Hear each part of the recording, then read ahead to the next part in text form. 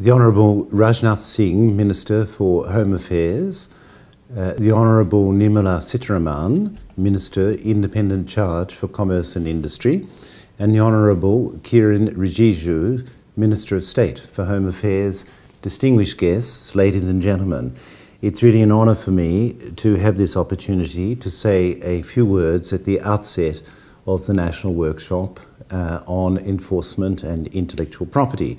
It's also a very great pleasure because it's part of the ever strengthening relationship between the World Intellectual Property and the Government of India, of which we at the World Intellectual Property are extremely proud.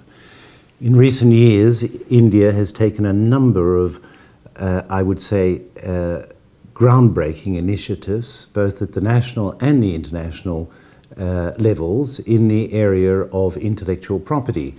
These initiatives have been aimed at creating an empowering environment for intellectual property in order to support, in particular, the Prime Minister's initiatives for Make in India, Digital India, and Startup India.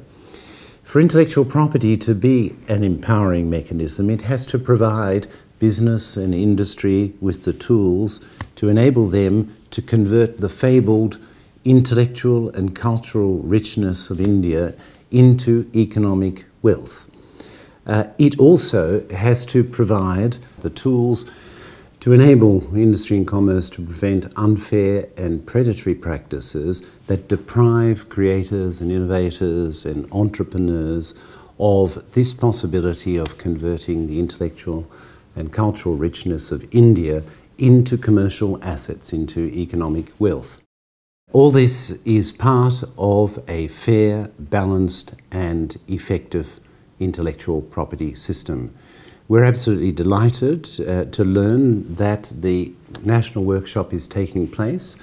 The presence of three such distinguished ministers indicates that intellectual property is taken seriously and attention is paid to intellectual property at the highest level of uh, the Indian government. It also is an indication uh, that this is a whole of government approach with the executive, the legislative, and the judicial and enforcement branches of government all coming together to discuss this extremely important topic. I wish you uh, all extremely good uh, deliberations, and we truly hope that this will be another contribution that intellectual property can make to the policy of the Government of India, and in particular to the creation of New India by 2022. Thank you once again for this opportunity to say a few words.